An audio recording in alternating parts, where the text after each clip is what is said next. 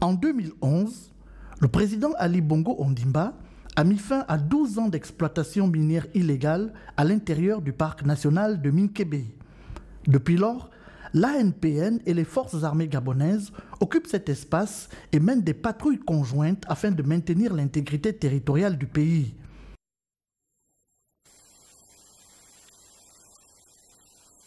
Le ministre de la Défense nationale, Ernest Mpoepiga, et le secrétaire exécutif de l'ANPN, le professeur Lee White, ont même obtenu la collaboration et l'implication des Marines américains sur le terrain.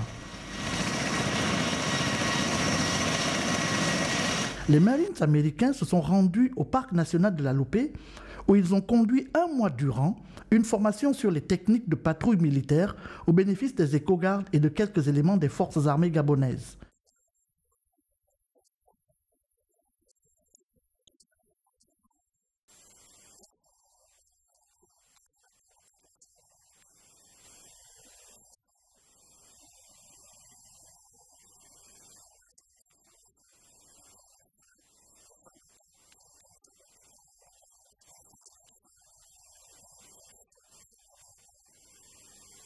Le capitaine Peter Dreschel dirigeait l'équipe de formation.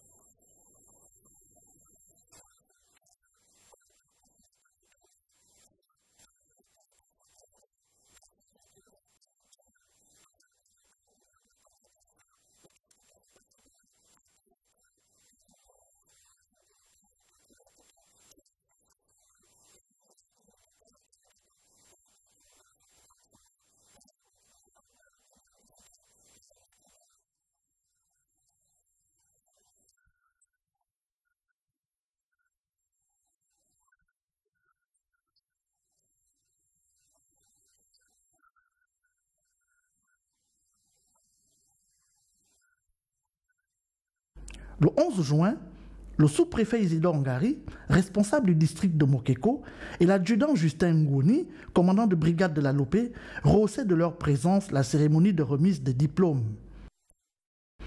Aujourd'hui, éco-gardes et militaires sont de retour au nord du pays pour des patrouilles conjointes de sécurité, occasion de mettre en pratique les compétences qu'ils ont acquises pendant un mois aux côtés des Marines.